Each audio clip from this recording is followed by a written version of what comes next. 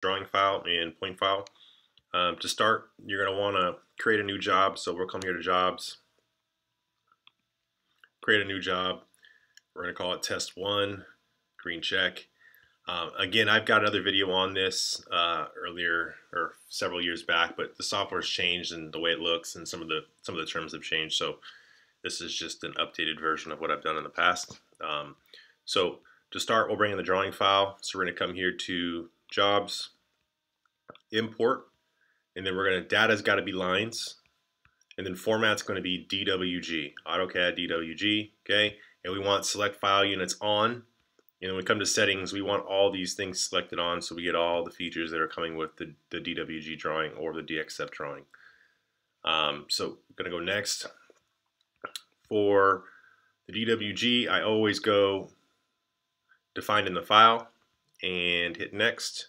What that does is the software is able to recognize how it was exported from, from AutoCAD or Revit um, in terms of uh, the units itself. Next, we're going to go ahead and pick the drawing that we're after, and it's this one here. Now, just so you know, you've got this path here that'll take you several different directions.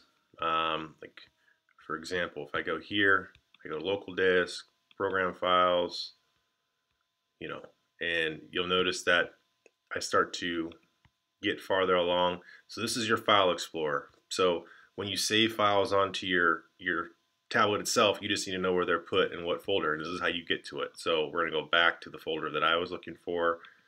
It's on the USB drive. It's this guy here. So we're going to check it. It'll load it in and it'll give import successfully finished. We're going to go ahead and close. We're going to go take a look at that drawing file real quick. So it's here. Um, we look good from that perspective. Now let's go ahead and overlay the points. So we'll go back home, job, import. We're going to change data to points, and we're going to change the actual uh, format to Topcon text custom. So you can have a TXT file or a CSV file.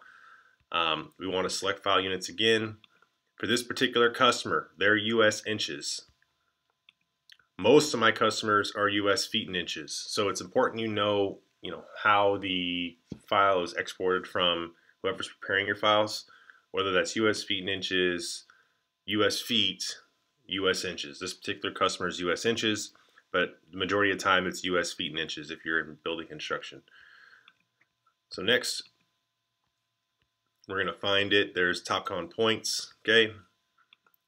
Now, this is important here. So take a second to describe this. So you've got name, YXZ elevation code, and then underneath you'll notice I've got name XY elevation code. So what happens is you got to make sure your orientation is right, meaning YX or XY. Typically it's YX, um, but if you import the points and notice that the points are not lining up with the drawing like they should, more than likely it's this switch here. So you would just flip the orientation. So instead of YX, go to XY.